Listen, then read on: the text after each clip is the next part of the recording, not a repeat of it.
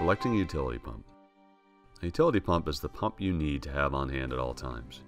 Utility pumps are portable and versatile for use in areas where unwanted water collects. They excel at moving water quickly and efficiently from place to place by simply attaching a hose and plugging in the pump. Most utility pumps are submersible, meaning the motor can be placed underwater, but there are a few pumps that use a suction hose. You will want to select a pump based on the flow rate needed to complete the dewatering.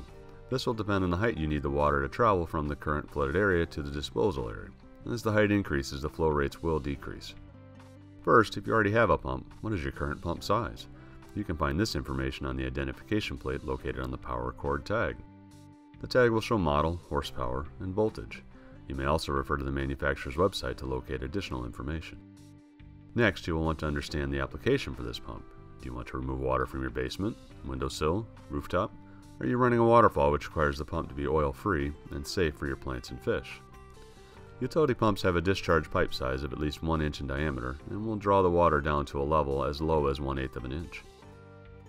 In addition to the pump, you will likely need a discharge hose to move the water from place to place. Most often a garden hose adapter is included with the pump. However, garden hose may limit the flow rate of the pump because most garden hoses have only 5 8 of an inch diameter. You can purchase larger hose kits to fit your pump and application.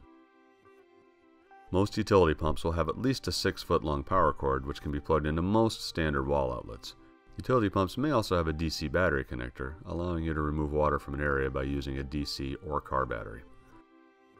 You are now ready to move water from that unwanted area.